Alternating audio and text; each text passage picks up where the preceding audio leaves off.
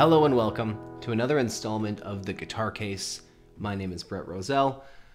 A couple weeks ago, I posted a video of 1979 by the Smashing Pumpkins, and today I'm going to kind of look under the hood and show you the chords used so that you could put this song together on your own at home. So for starters, you're going to need to tune your instrument down a half step. So you'll take your tuner and you'll take each string down a semitone. So that's E to E flat, A to A flat, D to D flat, so on and so forth. Once you're down a half step, our low E string has now become E flat. And our key signature of this song is going to be E flat major because the whole tune is based around the tonal center of this E major chord shape. Okay? So now let's run through all the chords that are used in the tune and then I'll show you the progressions. Okay, so let's have a look at some of the chords that we're going to use in this song, okay?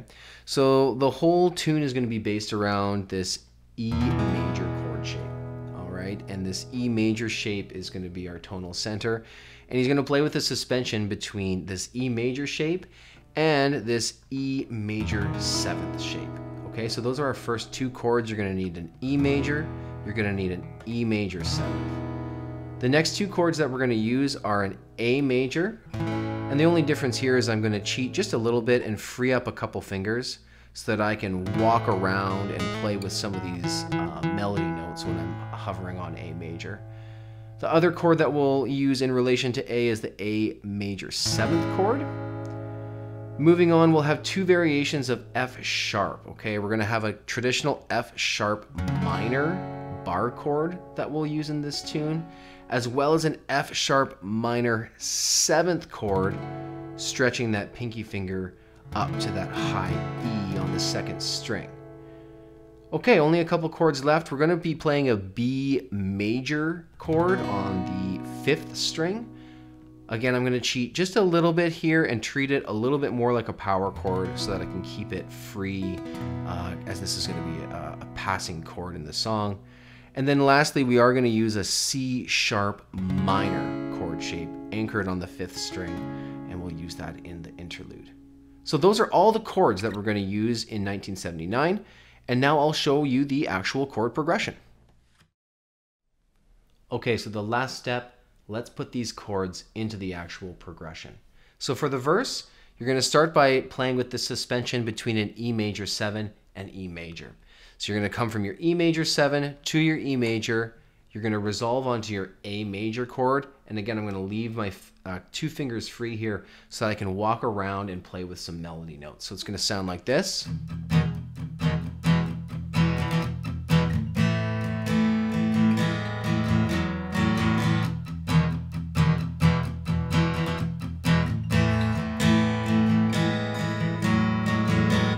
You'll walk through that three times, and at the end of each little verse vocal stanza, he's going to transition from a F sharp minor seventh chord to a B major chord. And that's going to loop you back to the start of your progression. So if you take it from the F sharp minor chord, it's going to be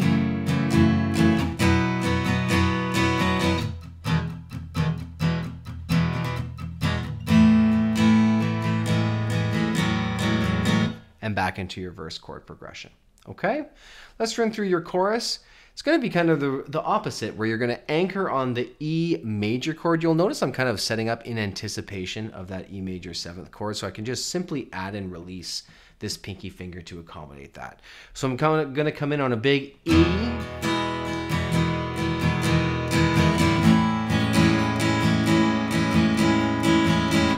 So big E major, I'm going to simply remove that pinky chord to play with that E major seventh a bit, and then transition to an A major seventh chord.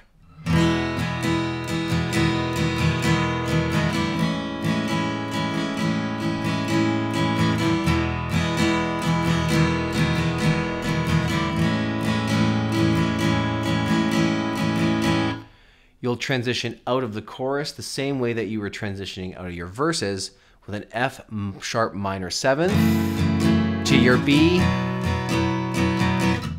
back to your verse. Okay, so the last chord progression that you're going to need is the bridge three chords, really easy. You're going to come in on your B major chord. You'll transition up to a C sharp minor, and then you'll come down to an A major.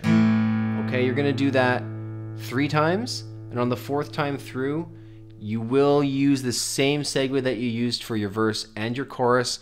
We will come in on the F sharp minor seventh to your B, and that's going to segue you back out and into your verse. Okay, so you're going to come from B, C sharp minor, A. You do that one more time or two more times and then segue out.